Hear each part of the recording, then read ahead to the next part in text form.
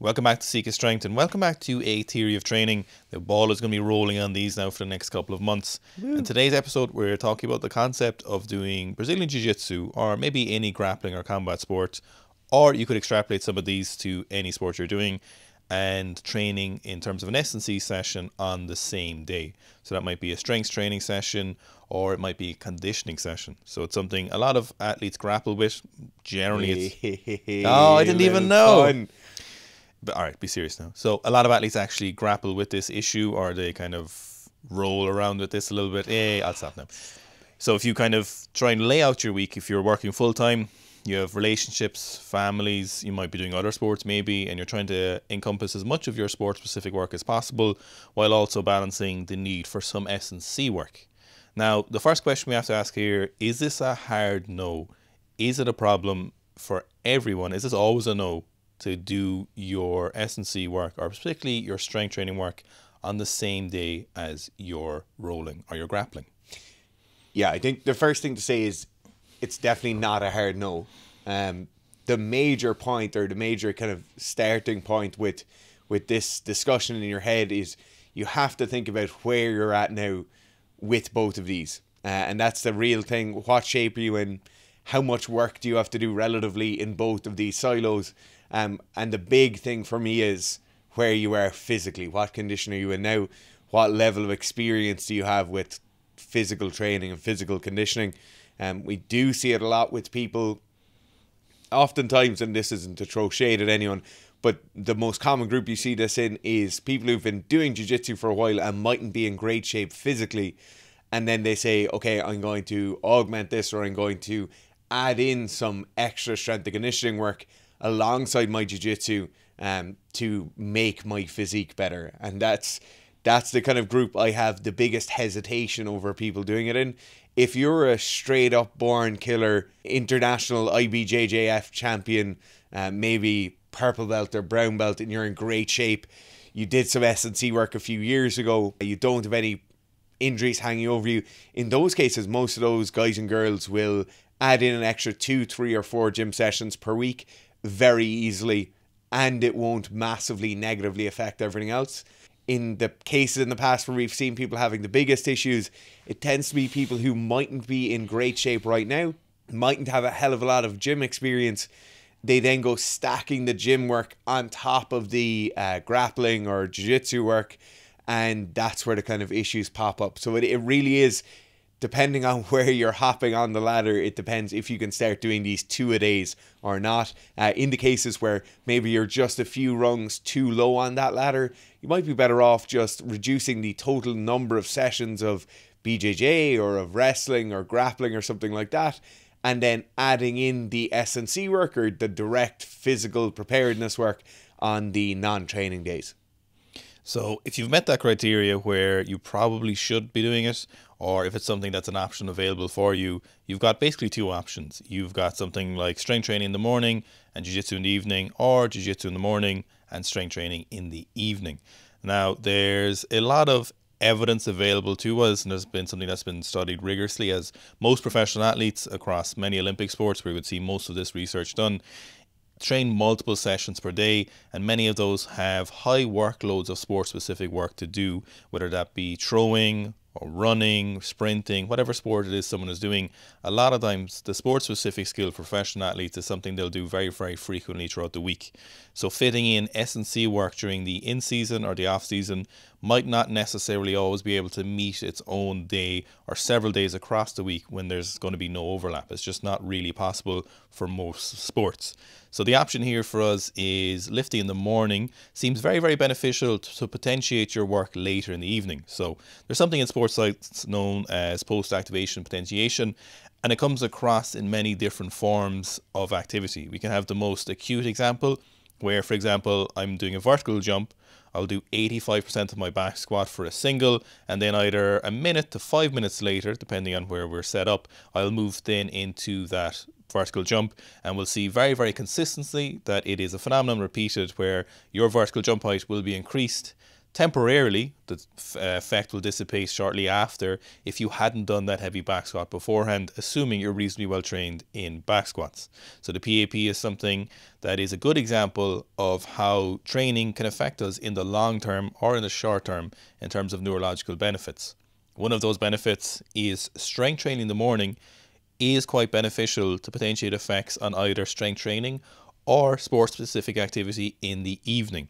So if in the morning we do a strength training session, we might do something like very light power cleans, and then we'll back squat up to 60 to 80% for a single. Now, you could do a full training session which has its own issues. So if we do this kind of potentiation session, this lighter, lower volume session, in the evening, you will then end up with potentially improved performance if you're a well trained reasonably athletic person who is pretty far into their career, either intermediate or beyond in terms of skill level in your sport and your general physical capacity development. So, if you're a very, very new athlete to strength training and your sport, if you do that morning session, that strength training session, you're probably just going to make your performance in the evening much worse because the threshold for the fatigue from the strength training session in the morning is just going to be too much for you and essentially going to ruin your evening session. So what you do is you look for that criteria. You look for the criteria you've met that Dara just spoke about there is if you're well trained enough and you're in a good enough session, you decide what kind of period of training you are in. And then in that morning session, then if you've met this criteria, you'll go, I'm either needed to do an actual strength training workout or an actual S&C workout. And then I'll either have some impact on my performance later in my grappling or my BJJ, or maybe no impact. Now, if you're an athlete who is on the slightly less well trained side of things, but you still met the criteria for training two sessions during the day, a better option might be to do your jiu-jitsu or your grappling or your judo or whatever sport it is in the morning if that's an option available to you. So what this allows us to do is get our really sport specific, highly skilled workout out of the way that requires us to be fresh because if you're not a well trained athlete and you don't have a lot of well adjusted motor patterns, that strength training in the morning, like we mentioned, might just throw you off in the evening. Where even though you might get some a PAP on your power development, it may be so fatiguing that it actually just negatively affects your sport specific work. The opposite side of that is getting your sport specific work done first in the morning. Now, this has some caveats as morning training can be a little bit of a negative impact in terms of uh, hormonal regulation. You might have higher levels of uh, melatonin still left in your system, which seems to negatively impact the CNS, which is one of the reasons it's good for sleeping because it dampens down your central nervous system to get you to sleep. You might not have enough food, and there's a couple of different things we've talked about before where in a morning session it might not be ideal, but something you can get used to. Now, if you're in that place where you're well trained enough, you're kind of have to do two sessions a day, but you're going to do your sport specific work in the morning then you can leave your strength training the evening. So even though you might be fatigued from your morning session, you're still not heavily impacting your sport specific work, and still you will be able to get a productive training session in. So the next thing I really think people trip up on, or when they're making this calculation, they kind of get a bit confused, or maybe they just forget about it completely, is you have to think about what you're doing for the rest of the day and this is by far the the biggest kind of pitfall for for the two a day sessions. So if you're in the the kind of unique position where maybe you work for yourself or maybe you're doing something where certain days of the week you have very very concentrated work and other days of the week maybe you're doing kind of administrative work or things like that in those cases it's very simple the overall cognitive load for the work you're going to do that day mightn't be massively high and you mightn't be kind of directly rated on your performance for that day. In those cases it's grand. You can go you can do your two days. You can maybe be a bit pooped when you're in work. Everything will be grand. If on the other hand you are a computer programmer who's working to a schedule to have everything finished for your project manager by Friday afternoon. If you are a neuromuscular specialist or vascular surgeon, in these kind of cases, your workload in the morning and the evening have a massive influence on your actual professional workload you're going to get done throughout the day.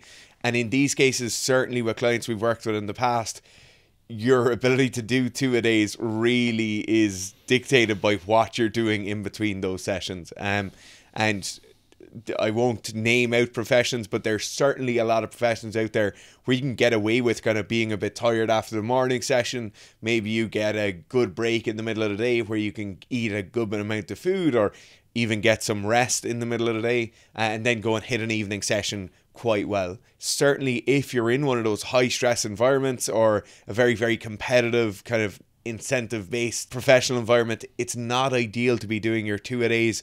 And I really would kind of warrant some caution in those cases. So if you're going to be running from the morning session to make it just barely to the office or barely to the facility by the time you start work, and then maybe you just grab a cup of coffee, you're poorly hydrated over the course of the day, maybe you're not able to take a break to take on some proper amount of food, and you're just grabbing a protein bar or a protein shake when you can. In these cases, your lifestyle just really isn't set up well for the two a days, and that's why it's so difficult as an amateur athlete or as somebody who's not being paid to do their sport.